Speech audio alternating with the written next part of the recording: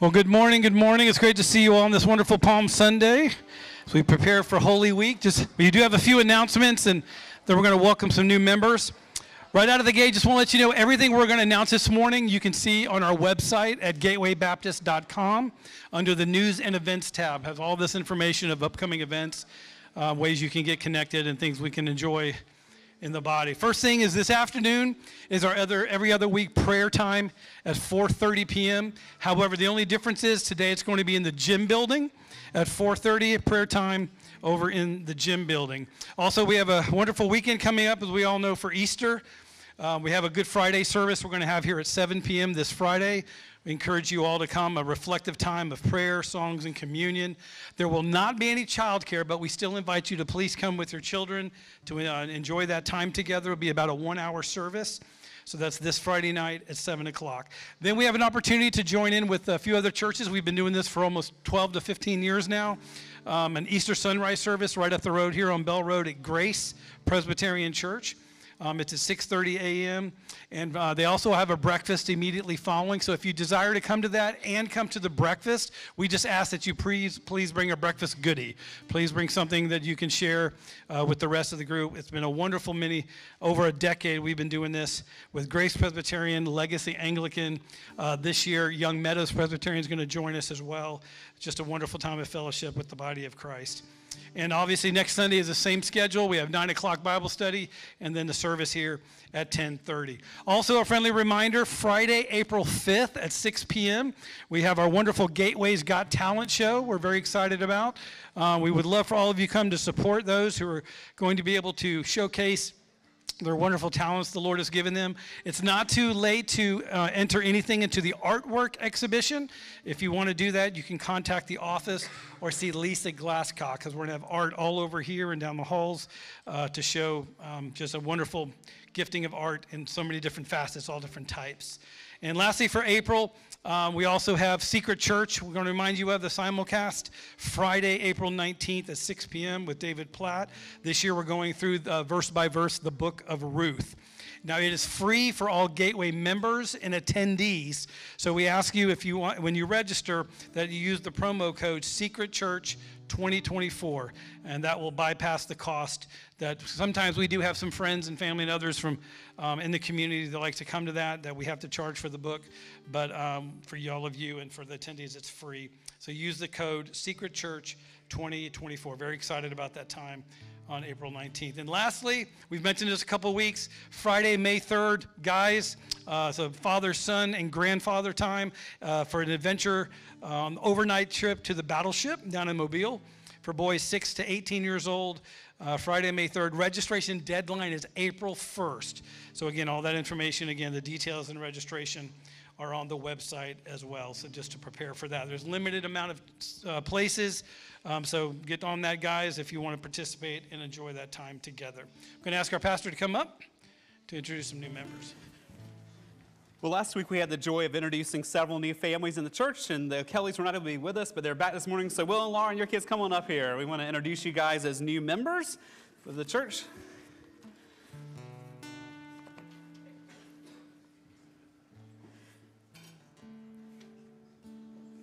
Well, this is Will and Laura O'Kelly. They moved here about a year ago from Minnesota, so welcome to the humidity and welcome to the heat of Alabama here. They came to be closer to their family, but also to start a homestead. So they live a little ways out here.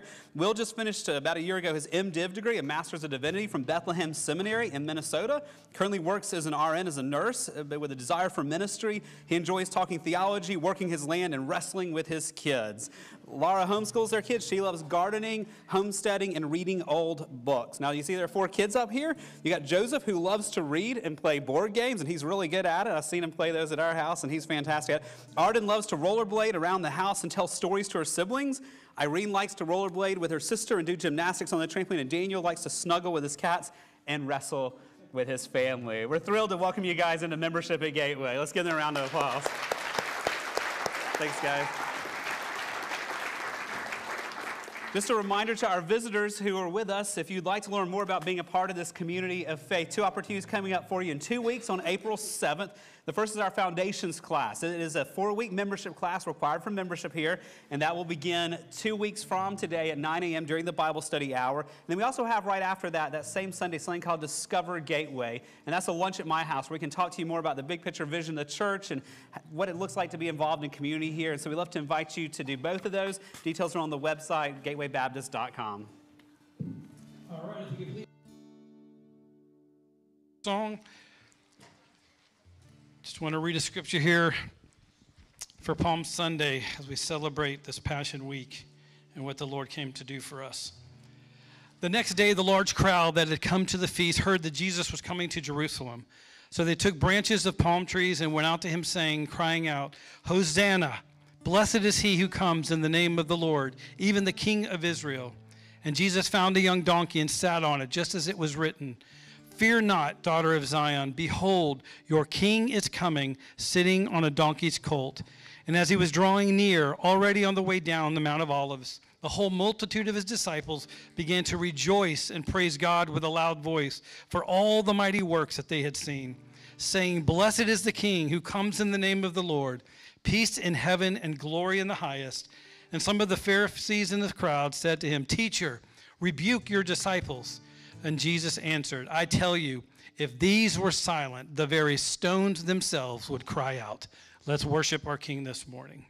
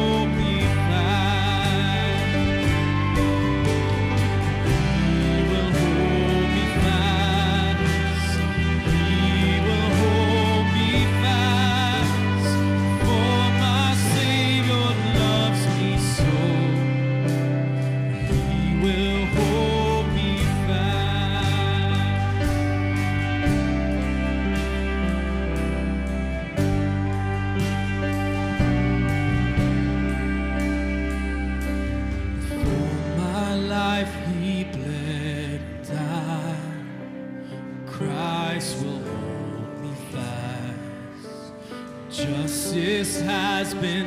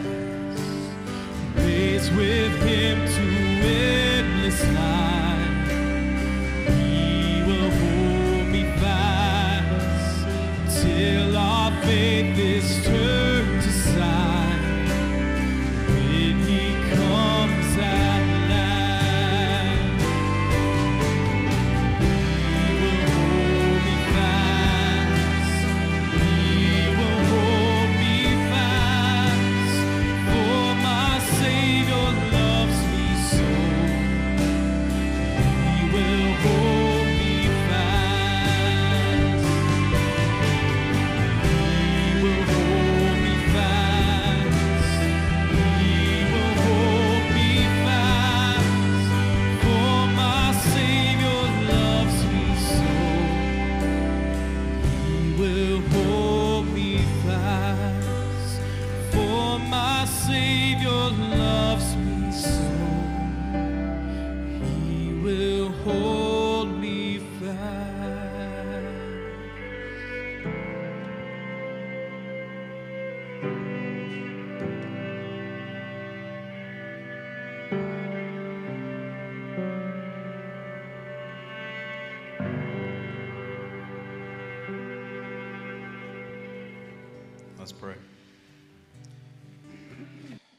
Father God, as we come to this day of celebrating Palm Sunday, looking forward to the the next week, Lord, just let us set in to what you truly did for us. As we share with our family, our children, those around us at work, our school, Lord, that we would give an example of a life that is filled with Christ, Lord. That you would remove our selfishness, or that you would just plant in us a boldness to, sh- to share that truth, Lord, that you died for us, that we are going to learn about and study and pray about this next coming week, God. Thank you for Gateway and just the ability to openly gather for corporate worship each, each week. Thank you. What we just sang about, that you will hold us fast, Lord, through the storms of life, through the, the ups and the downs, God. No matter what, we know we can turn to you and you will be there for us.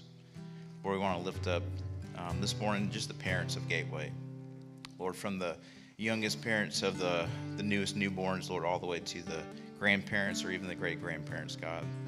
you've placed children in our life as a blessing. Lord, it's never a surprise to you when they are present in our life. And just we, um, we're humbled by the fact that we don't have it all, that we, can, we cannot do it all in parenting these children. We have to rely on you, Lord, that we would um, just go to you daily with our children's salvation requests, God. We know it's not an act that we can do ourselves, it's only through um, you and your salvation grace, Lord. We pray that over our children and for the, all the children of Gateway.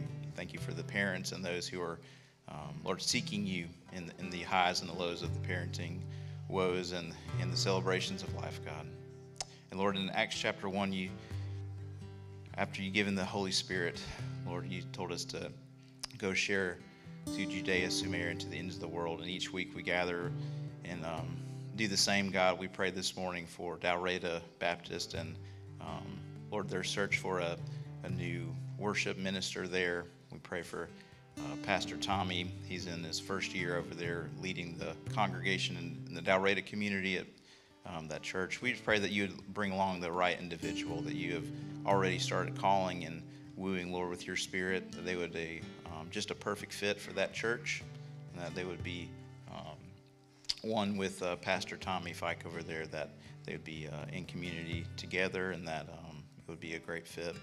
Lord, we also pray for our local um, bodies of government, Lord, for Governor Ivey, for Mayor Steven Reed, and all the city council and officials, God, that, um, Lord, at first of all, if they don't know you, that you would be planting seeds around them, that they would hear little snippets here and there of the gospel, and they would be interested, Lord, uh, just grow in their faith and knowledge of you, God, that you would ultimately save them.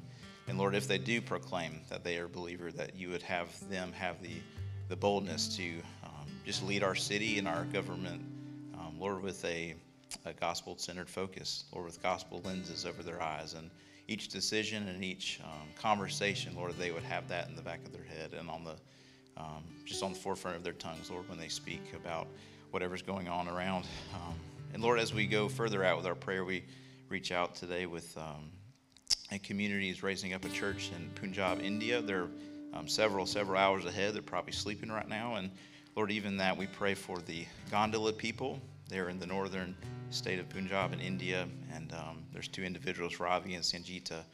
Lord, starting a church there. God, it's a place filled with um, just so much evil and darkness. God, we pray that they would be light there, they would be salt, that they would be seen as people who are different, Lord, that they would be kind and compassionate, just like you are to us. And that, Lord, everybody who is called to be there, you would um, just do your magical work, Lord, of the Holy Spirit moving in people, uh, especially for these two leaders, that you would uh, just provide them with encouragement, Lord, if they need financial assistance, Lord, that it would just flow easily, Lord, that it would just all happen supernaturally because of you, God, not because of their and themselves.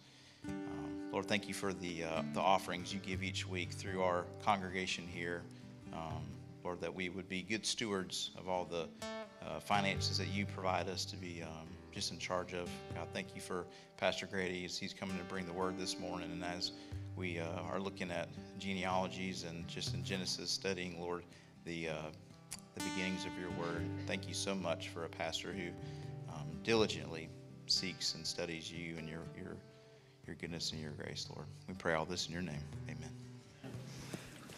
And boys and girls who are first to fourth grade who'd like to head to kids' worship, you may head that way. So, first to fourth graders, you got Mr. Kevin and Miss Amy Lynn today. I want you to find Genesis chapter 5 in your copy of God's Word. And you also need a handout this morning. So hopefully you got one of these. You came in. If not, Miss Jennifer's back there. Raise your hand if you don't have a handout and need one. My boys are down here, have them, and Jennifer's back here. Does anyone else still need one? I think over there. Anyone else in the back need it? Okay. Yeah, this, this will be helpful for this morning. So, your eyes are not playing a trick on you if you're looking at the handout here. Yes, you see before you 32 verses this morning. You're used to me teaching one or two a week, and we are going to, by God's grace, attempt to look at 32 verses this morning. Now, before you make a run for the door on that, we have a handout here to help us understand this because the reason we're doing 32 verses at once is because this is a genealogy that we're looking at in Genesis chapter 5. Now, let me remind you what a genealogy is. This is the second one we've seen in Scripture, but a genealogy is simply a record of the descent of a person from their ancestors. So it shows you the generations that led to the person who's there today. Some people might call it a family tree. Now, for some of you, this may be the first time you've ever studied a genealogy or heard a genealogy taught. Now, if we're honest, when we come to our daily Bible reading and we get to genealogies, what do we do? Okay, it's names, next chapter, or we quickly read through it. So, why are we taking a whole message this morning at a worship service to look at a genealogy? Well, for one, we're studying through Genesis 1 through 11, verse by verse. And so, this is part of the text as we look through these foundations of our faith. Genealogies are part of God's word for us. And as strange as it may sound, genealogies are actually good for us. I want to show you two scriptures to kind of cast the view of why we're doing this. First, 2 Timothy 3 16 and 17. You know this well. All scripture is breathed out by God. So, how much of it? What's that first word? All. There's no asterisk there in my Bible that says except for the genealogies.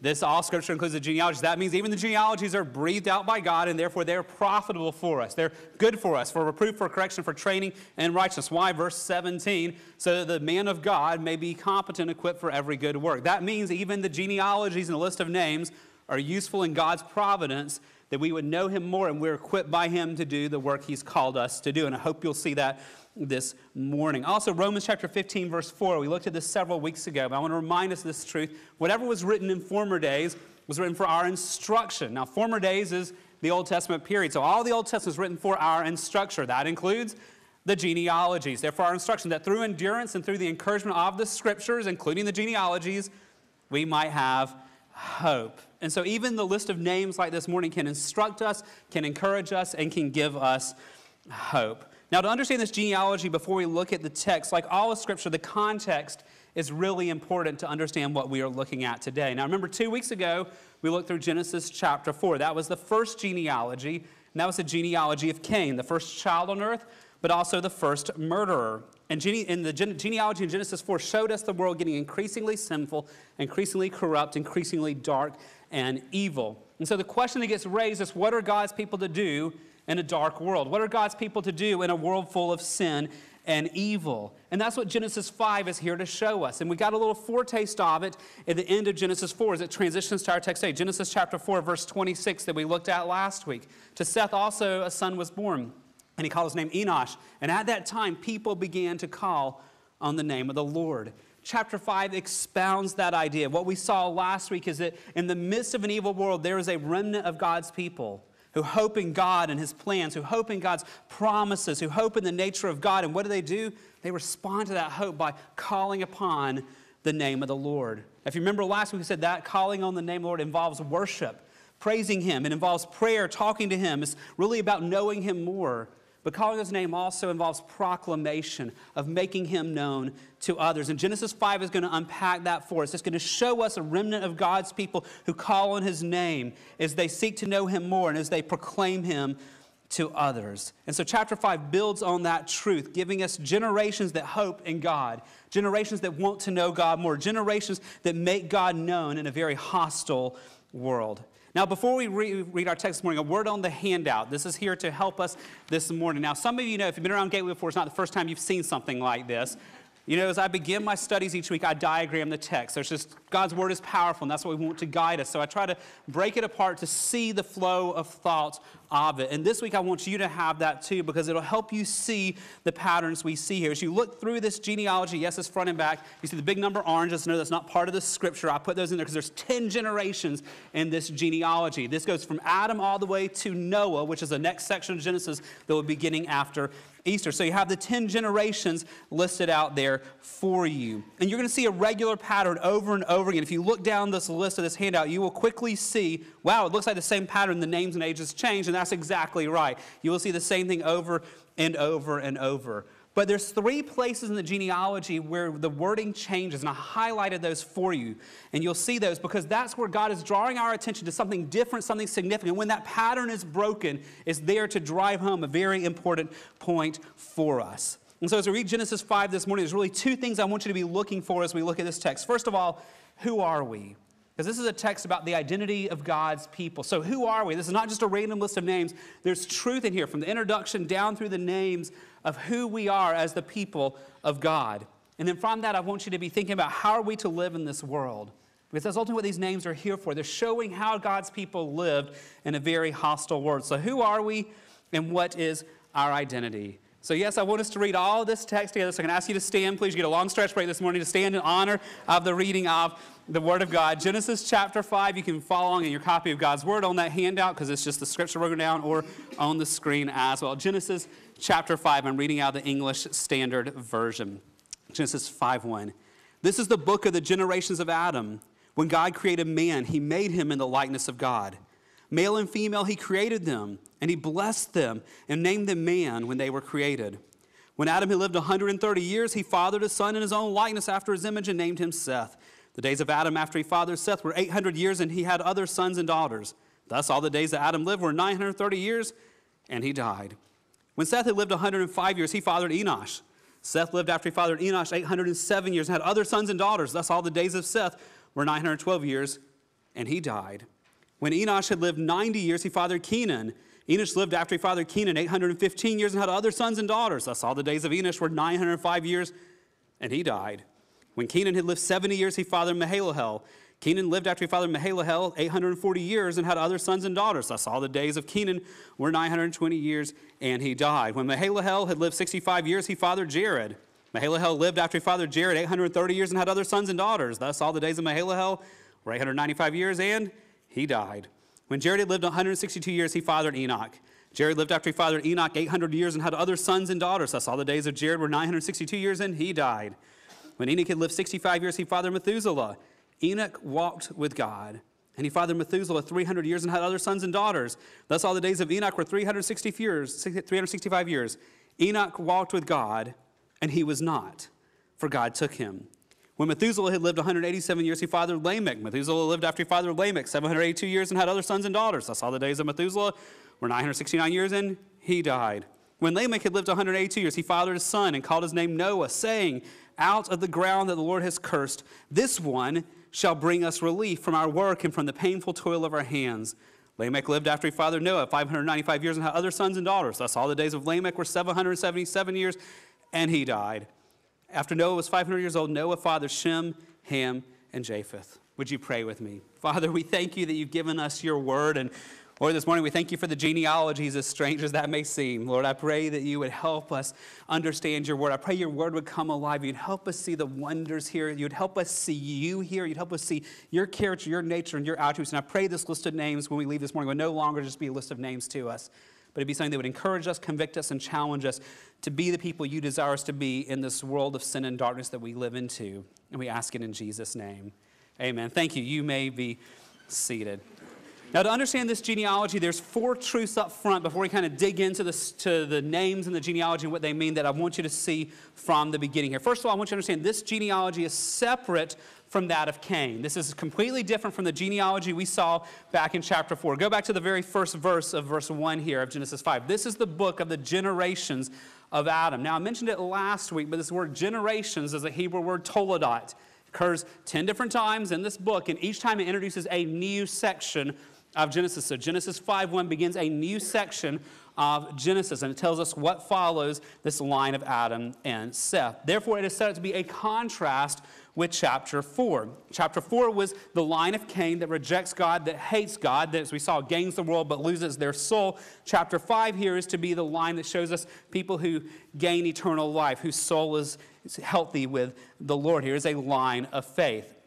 And the reason that distinction is important is because you will see similar names here. You see a guy named Enoch. He's in the seventh generation here. You also saw Enoch in chapter 4. There's a Lamech here in generation 9. There's a Lamech back in chapter 4. These are different people. This is a contrast. These are not overlapping lines. So I was just curious. Here at Gateway, I looked, we have six Johns at Gateway. That's a common name. You know a lot of Johns. We have six Johns here at Gateway. So if I said John, stand up, several Johns would stand up in the room right now, right? That's the same thing back then. There were common names back then, and Lamech and Enoch were common names. So as you read through chapter 4 and 5, don't get confused and think these are the same people. These are different sides of the Toledot. These are different lines, very different approaches towards faith and a relationship with God. So this is a separate genealogy from Cain. Number two, there's a common structure, a common pattern here. I've referenced this earlier, and I think you saw it as you were reading. You see the same structure throughout, the, throughout this thing. You see it's used the exact same way six different times, only the names and the ages are different. So, for example, go to generation number two here, verses six through eight here, and you'll see this pattern. When Seth had lived 105 years, he fathered Enosh. Seth lived after he fathered Enosh 807 years. and He had other sons and daughters. Thus, all the days of Seth were 912 years, and he died. You can take that same formula six different times here, verbatim, and you just change the name and change the dates, and it's the same thing here. Now, this is important when you see this. First of all, it's important because the repetition is here to teach us truth. So, for example, you see that phrase over and over on the right side, he fathered. Molly really wanted me to read as he begat over and over the way the older Bibles did, but, but he begat or he fathered.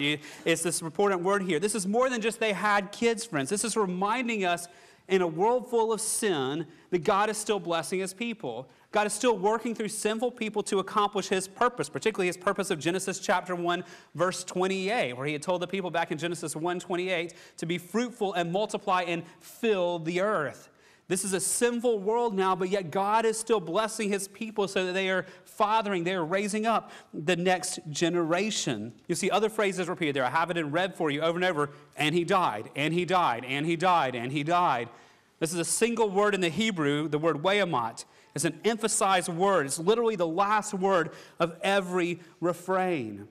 And this is important because it reminds us that we serve a holy God and a just God, and God will deal with every sin. It also reminds us that God is faithful. He will keep all of his promises, like Genesis chapter 2, verse 17. In Genesis 2 17, he told them, But the tree of the knowledge of good and evil you shall not eat, for in the day that you eat of it, you shall surely die.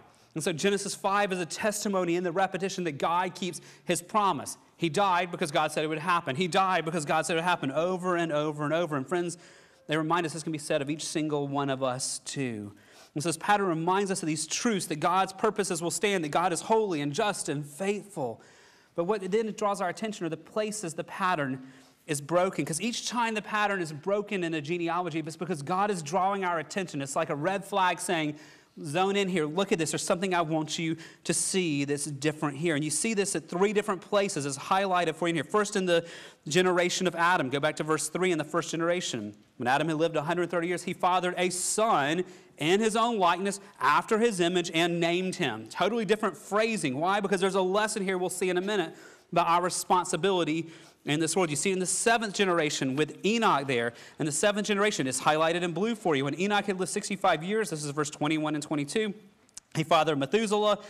Enoch walked with God after he fathered Methuselah. Okay, there's a change here. He didn't just live, he walked with God. There's a lesson here for us about our priority and how we live in a dark world. You see this also in generation 9 here with this guy named Lamech, different Lamech than chapter 4 here, verses 28 and 29. When Lamech had lived 182 years, he fathered his son and called his name Noah, saying, Out of the ground the Lord is cursed. This one shall bring us relief. There's a change here in what has said because there's a lesson here about hoping in, the, in God. And then finally, verse 10, something is missing here. Or sorry, in chapter 10, or generation 10, verse 32. After Noah was 500 years old, Noah fathered Shem, Ham, and Japheth.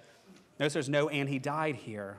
Why? Because that's going to come in chapter 9, verse 29. God has three chapters for us here about the life of Noah we need to know before we get to 929. All the days of Noah are 950 years and he died. All these variations are here to point truth out to us that we'll explore in just a moment.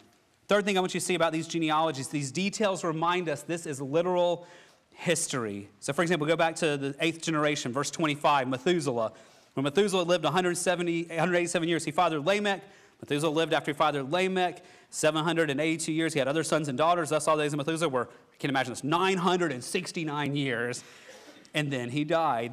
There's great care recorded for us of names and how old they were when they had their kid, how old they were when they died. Why? Because this is historical records for us. It's history preserved for us. In fact, this is the only authentic record we have of this time period. The great flood that's going to come in Noah's time is going to wipe out all of humanity except for one family. It's going to wipe out all the records of what happened. And yet, God in His grace has preserved for us a literal record so we know what happened from the 10 generations from Adam to Noah before the flood. Unless we think this is not actual literal history here, I want to remind us these same names appear in the Gospels to of Jesus' genealogy because the, these are not just random names for us. God is showing us his faithfulness to his promise. So he gives us history so we understand the Messiah is going to come through this line. So, for example, Luke chapter 3, verses 23 and 24. This is the genealogy of Christ, the Messiah. Jesus, when he began his ministry, was about 30 years of age, being the son, I was supposed, of Joseph, the son of Heli. Verse 24. The son of Matthat, the son of Levi, the son of Melchi, the son of Jannai, the son of Joseph. So you start seeing this pattern in Luke's genealogy, but here's where it ties back to our text. You skip 12 verses, which are all these other names. You come to Luke chapter 3, verse 36.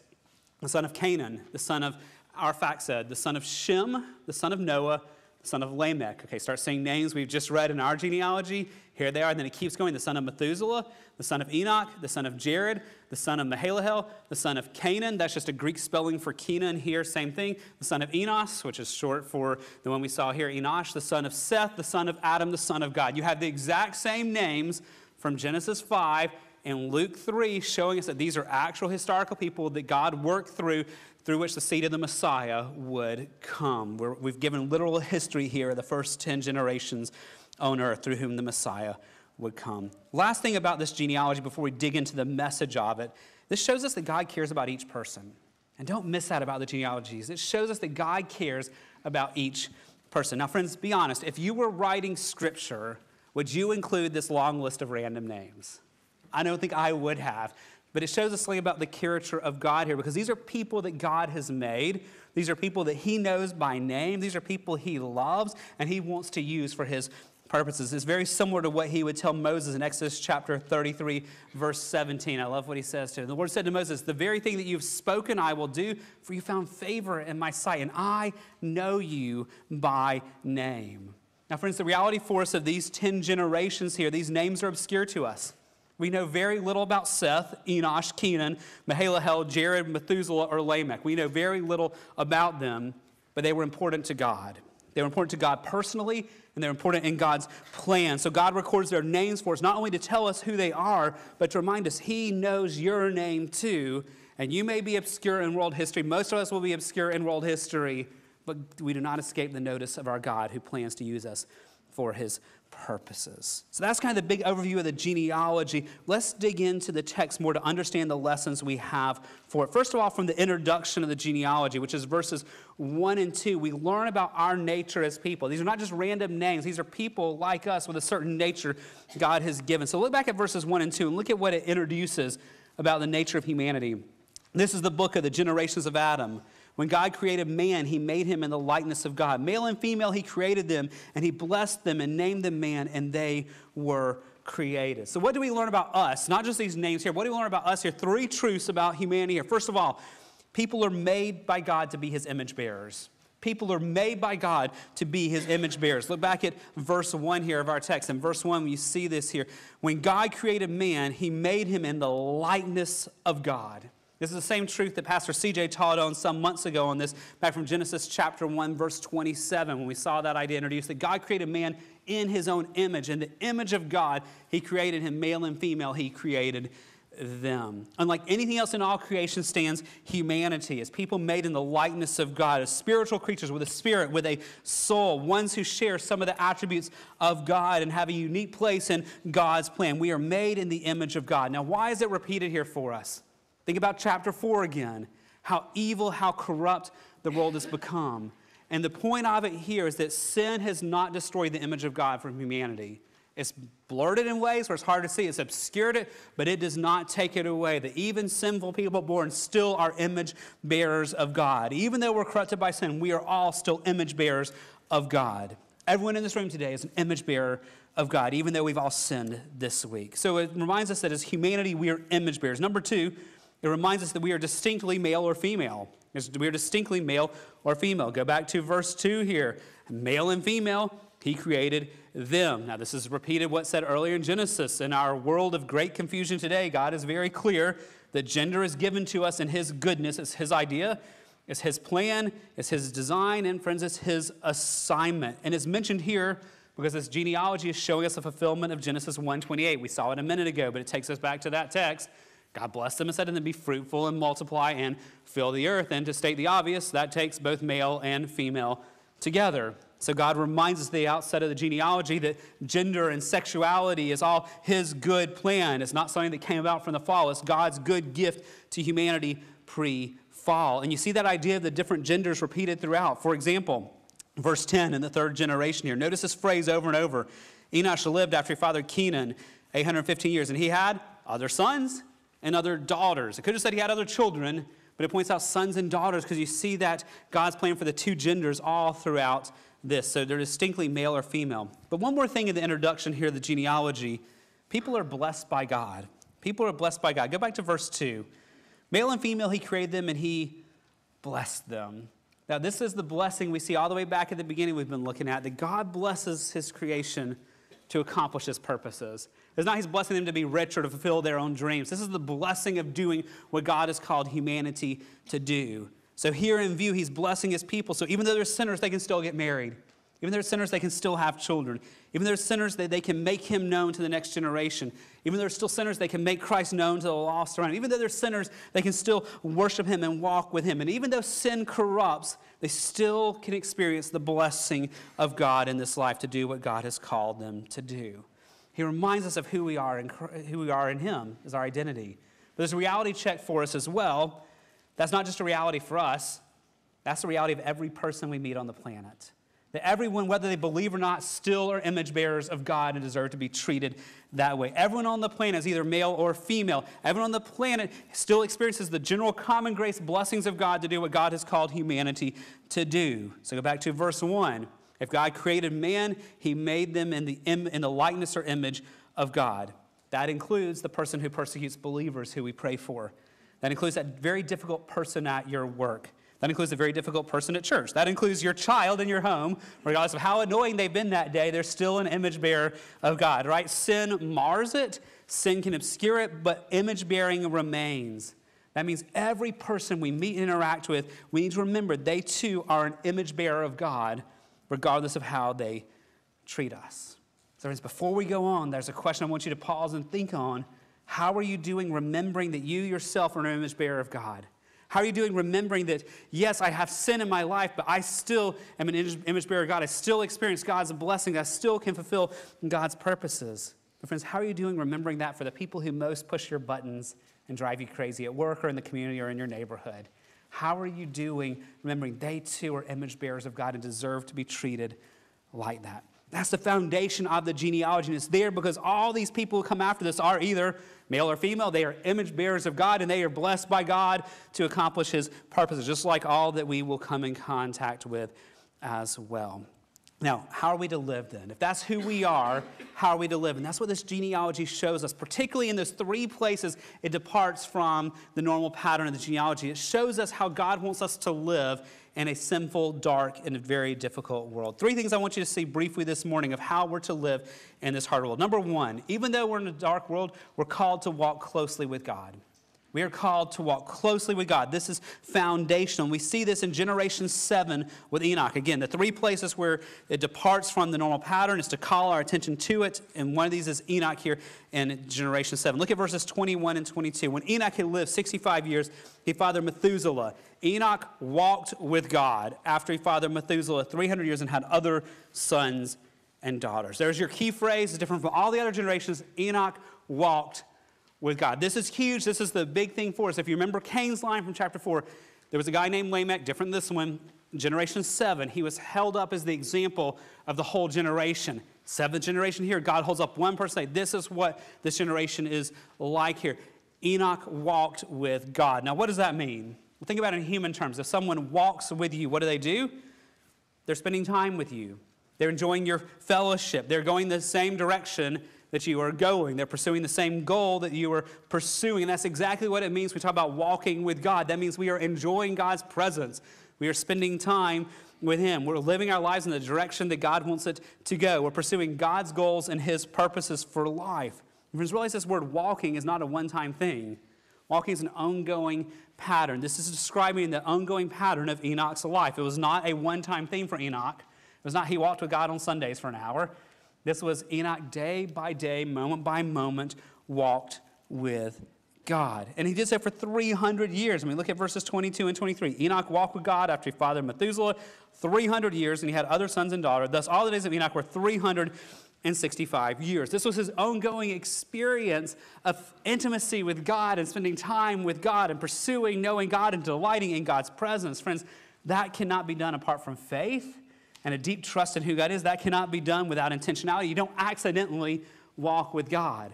Perhaps many in this room struggle with walking with God because we're not intentional about it. You don't accidentally walk with God. It's responding to God's grace and faith and intentionally taking steps to spend time with Him. Now, quick clarification Enoch was not sinless. That's not what this text is about. Romans 3 tells us all have sinned. This is simply saying Enoch is one who had faith, who lived a life of repentance and intentionally pursued knowing God more. And he's highlighted here, not just to tell us that that's what he did, but God is saying, This is what I want for you for all my children. God's will for you is for you to walk intimately with Him, to walk with Him, and to know Him. And so, again, the question for us, before we just rush on to the next name, is are we doing this, friends? Are we walking with God? Or are we walking with the world? If we look at how we spend our time, if we look at our intentionality, if we look at our thoughts, all those things, are we a people who are delighting in God and wanting to walk and enjoy His presence, or are we finding the world to be more appealing? So, the first thing that genealogy shows us in a dark and sinful world is we're to be walking with God. Second of all, very similar to last week, we're called to be hoping in His promises.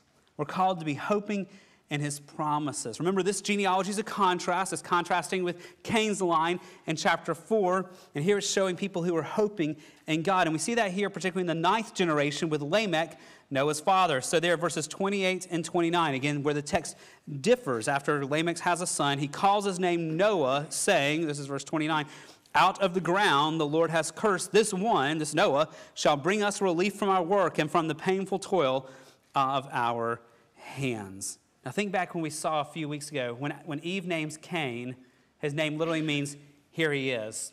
She was hoping that he would be the Messiah who would bring relief. And though he was not, there was a hope and expectation that the Messiah that God has promised will come, that God is going to keep his promise. And that's really very much what Noah's father is doing here as well. He's grieving over the sin and brokenness. He's longing for the Messiah to come. He's longing for the one to come to reverse all the, the challenge of the curse. And so he, in expectation, he names his son Noah, which means rest. He's longing for rest to come to God's people through this line. And then he actually explains the name here. This one shall bring us relief. So he's saying, My child rest will bring relief. He's hoping with a messianic hope that the Messiah would come.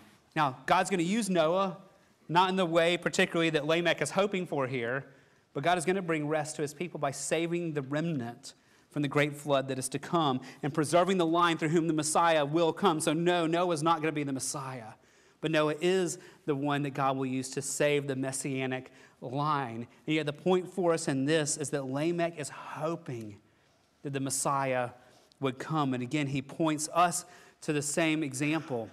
Are we hoping for the return of the Messiah? Christ has come and we know who he is and we celebrate even next Sunday what he's done to get our redemption. But he's promised that's not the only coming, he's coming back. And so are we living our lives with a expectation? Are we instilling that expectation in our kids as well that Christ is returning and let's long for and live for that day when he returns? Or are we living like Cain's line caught up in the here and the now? And so the, the genealogy here shows us that God's will for his people is to walk with him God's will for his people is to hope in him. But one last one God's will for his people is to make him known to the lost around them. God's will is for his people to make him known to the lost around them. And where do we make him known? There's two places highlighted in this genealogy, two examples of where God wants us to make him known. First of all, don't miss this, God wants us to make him known in our own homes. God wants us to make him known in our own homes. That our homes will be places where we talk about the Lord and where the next generation and the friends who come in hear of the glories of God. Now we see this all throughout this line. If you go back to Genesis chapter, sorry, Genesis chapter 5, verse 3 here, and go back to Adam again, this is where it's held up different here. When Adam had lived, verse 3, 130 years, he fathered, here's in yellow, he fathered a son in his own likeness after his image and named him. This is different than all other parts. Why? because it's teaching us something here. This was not a son in the image of God. This is son in the image of Adam, in Adam's likeness. So, what in the world does that mean? It means three things that when Adam has a son, three things happen. First of all, that son has the image of God in him. That every child born from an image bearer of God is also an image bearer of God. And so that's automatically passed on. But second of all, more sadly, it means that child is a sinner. Adam is a sinner. Now his son Seth is going to be a sinner. You're a sinner. And if you have children, your children are sinners. They got your sin nature, right? And it's so humbling when you watch your kids do the same things you've done and being going, that's just like me. They got your sin nature. Their children come in our own likeness. We can't control that. Every child that's born to a person here is going to be an image bearer of God and be a sinner. But there's a third part of what it means that he is in the likeness of Adam, and that's something that Adam could control and did control, and that has to do with faith that Adam sought to instill in his child now faith. Now, I can't help but think this is in contrast to what happened with Cain. We don't know the whole story of Cain's rebellion, but Adam, broken and grieving over Cain's rebellion, it appears to be here, according to the scholars, that he is instilling faith in a deeper, more intentional way into Seth's line because he knows his child's an image bearer of God. He knows his child is a sinner, and so he's going to do all he can to point his child to the Lord he has a son. He fathers a son. He parents a son in his own likeness, desiring for his child to have the faith that he has. He's doing what the law would later require. Deuteronomy chapter 6, verses 5 to 7. This is what Adam is doing here. You shall love the Lord your God with all your heart and with all your soul and with all your might. Verse 6. And these words that I command you today are to be on your heart. Verse 7.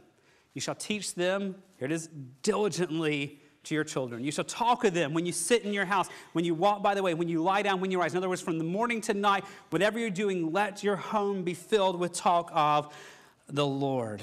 And it appears he the generations followed his example on that. Because when you come to generation seven with Enoch, go back to verse 22 here. When Enoch had lived 65 years, he fathered Methuselah, and Enoch walked with God.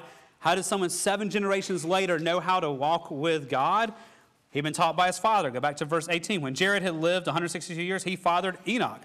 So, well, who, who taught Jared how to do these things? Well, his father Mahalalel. And who taught Mahalalel? His father Kenan. Who taught Kenan? His father Enosh. Who taught Enosh? It was Seth. And who taught Seth? It was Adam. You have seven generations of parents pouring in truth into their children's lives, pointing them to who God is. And that's still God's plan today for us. Ephesians chapter 6, verse 4. We have the same mission. Fathers, do not provoke your children to anger, but bring them up in the discipline and in the instruction of the Lord. So, again, before we go on, friends, just want to pause and ask us can this be said of us in our homes and our families? Are we talking about God throughout the day? Are we talking about Him and reading the scriptures and praying? Are we pointing our families to the Lord? Are you leading yourself and your family? And if you're not married and you don't have kids, this is not exempting you from this as well. Is your home a place to where the gospel is known, where the next generation comes in as disciple, where people can come and experience hospitality biblically and find hope in the Word of God? Is your home a place where the Word of God fills it all? That's God's plan for His people in a dark world, is for the gospel to go forth in the home. But there's a second place that God desires for us to proclaim Him, and that's to all around us to all around us. And the genealogy shows us that, that there's God's will is in a dark and hard world for us to still proclaim who God is to all those who are around us. Now remember, we just said they're all image bearers of God. They all are people who reflect God's image, though they don't even know that yet. And we get the joy as image bearers who know God to point image bearers who do not know God to know who He is. There's two in this line who are shown for doing this. And again, we see them highlighted. Go back to generation seven of Enoch. In verse, in verse 22 here, Enoch walked with God after he fathered Methuselah, 300 years, and he had other sons and daughters. So, how do we know his walking with God included him proclaiming to other people? Because the New Testament tells us. The Holy Spirit inspired the author of Jude to show us something that Genesis did not, and that is what Enoch did. Look at Jude chapter 1, verses 14 and 15. It was about these that Enoch, the seventh from Adam, prophesied, saying, Behold, the Lord comes with ten thousands of his holy ones. And in verse 15, to execute judgment on all and to convict all the ungodly of all their deeds of ungodliness that they have committed in such an ungodly way, and of all the harsh things that ungodly sinners have spoken against him. And so here you we're told in Jude that Enoch proclaimed the coming judgment of God. Now, in Jude, it's talking about the return of Christ, but that would also be in view here the coming judgment of the flood that's only two or three generations away here. The Enoch walked with God, and the overflow of that walking with God was not just he stayed at home and withdrew and enjoyed as being a monk and joining God's presence. He went out to the pagan, lost, harsh sinners around him, and he warned them the judgment of God is coming. Repent. He called people to repent before it was too late. He didn't just keep the gospel at home, he took it to the lost around. So did Noah in the 10th generation here. Now, Noah will be described, we'll come to this in two weeks, but in Genesis chapter 6, verses 8 and 9, notice the similarity here. Noah found favor in the eyes of the Lord, verse 9. These are the generations of Noah. Noah was a righteous man, blameless in his generation. Noah, here, same thing, he walked with God. And what was the overflow of walking with God? He proclaimed who God was to others. 2 Peter chapter 2, verse 5 again tells us what Genesis does not. If he did not spare, if he, God, did not spare the ancient world, preserve Noah, a herald of righteousness. God preserved Noah. He was a herald, he was a proclaimer of righteousness. So we have modeled here in these two places where the, the pattern is broken there in generation seven and generation nine are people who are proclaiming God not only at home, but to the world. It was a both and for them. They just declared who God was and they called people to repent. Now, friends, the reality is this will be hard for them.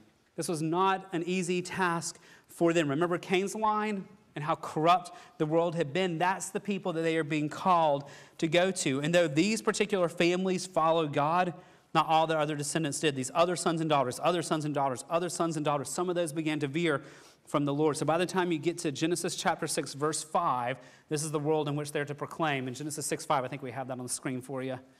The Lord saw the wickedness of man was great in the earth, and that every intention of thoughts of his heart was only evil continually.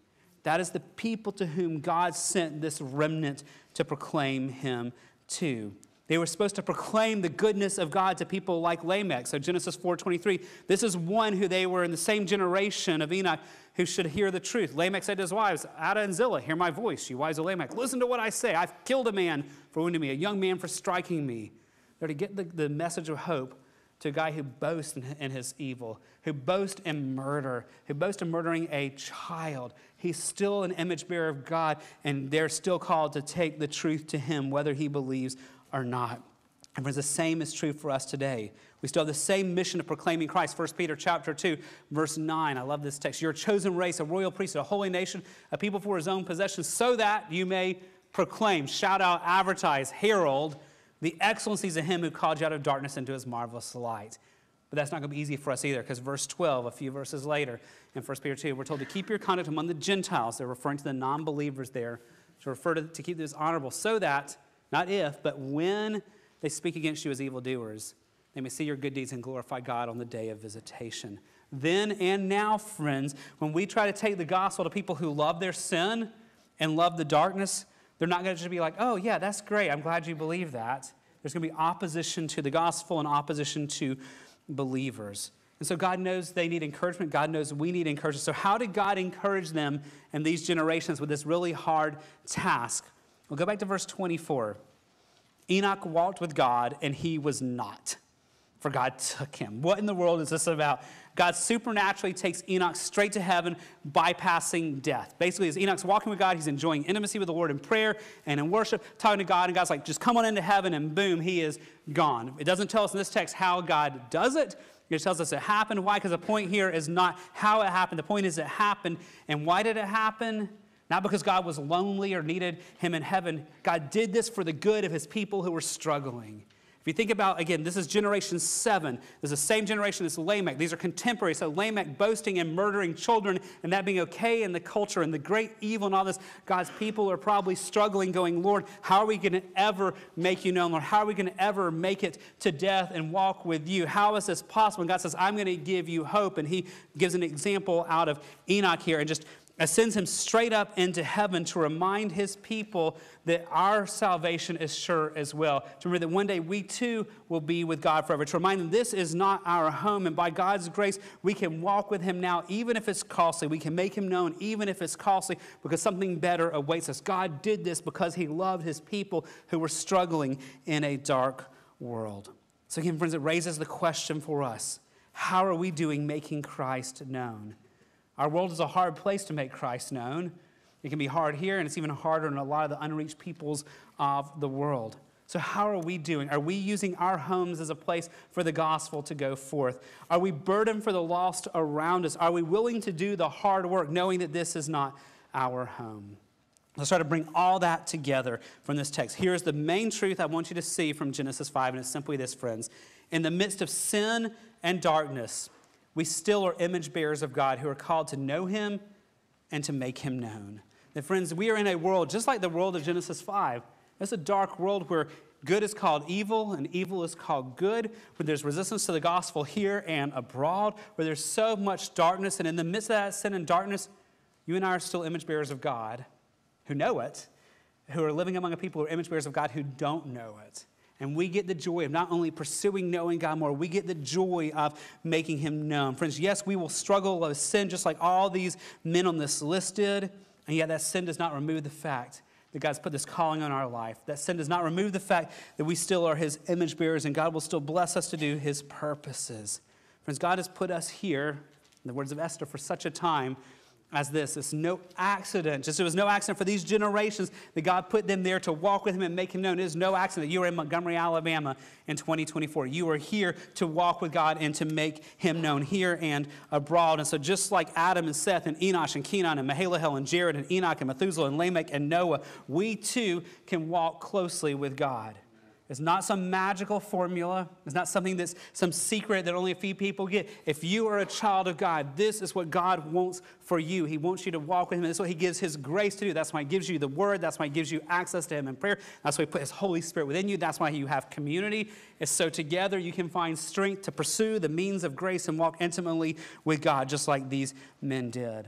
But God's will for you and me is the same as also to make Him known in our homes and to the culture around us in Montgomery and to the ends of the earth. Friends, each of these expressions, apart from Enoch, all into that same phrase, and he died, and he died, and he died. And that's going to be said for me one day, it's going to be said for you one day. And so the questions between then, now and then, and we don't know when that then will be, will our lives be marked by walking with God? Will our lives be marked by making God known in our homes? Will our lives be marked by making God known to the lost around us? Will we leave an eternal legacy? Richard Phillips, one of my favorite scholars on Genesis, said this Our stories will not end in our deaths, but in the lives of those we've touched and have encouraged in their faith and salvation. If we are used by God to lead others in following Jesus, we will leave a spiritual legacy that, like Adam's, will endure even into eternity. So, friends, as we think through the generations, how are we doing living, walking with God, and leaving a spiritual legacy for the generations to come? In the midst of sin and darkness, we still are image bearers of God who are called to know Him and to make Him known. Would you pray with me? Father, as we think about these people that you've used in the past, Lord, we recognize that, Lord, this is all your grace. Lord, for them to walk with you, because you opened their eyes to your glories and you gave them strength to do so. For them to make you known even when it's hardest because you gave them strength to do so. And Lord, we ask that you do that for us as well. Lord, you know the world into which you've put us. It's not an accident that we are here at this time. It's part of your sovereign plan. It's not an accident that we have the relationships with the lost people around us that you've given to us. It's not an accident that you have the nations before us. Lord, you have put us here to know you and to make you known. And so, Lord, we ask for much, much grace grace to walk with you, grace to proclaim you, grace to think about eternity and live with eternity in view. And so, Lord, I do pray that as whenever the day comes for each of us and it's said of us and he died or and she died, or that we wouldn't come to the end with a ton of regrets. But Lord, we come to the end being thankful for your grace that enabled us to walk with you and your grace that enabled us to make you known. So, would you give us that grace? Would you be changing us and molding us and shaping us to be the people you desire for us to be so that we too could leave an eternal legacy that would give you great glory? And we ask it in Jesus' name. Amen. Would you stand as we sing our closing song?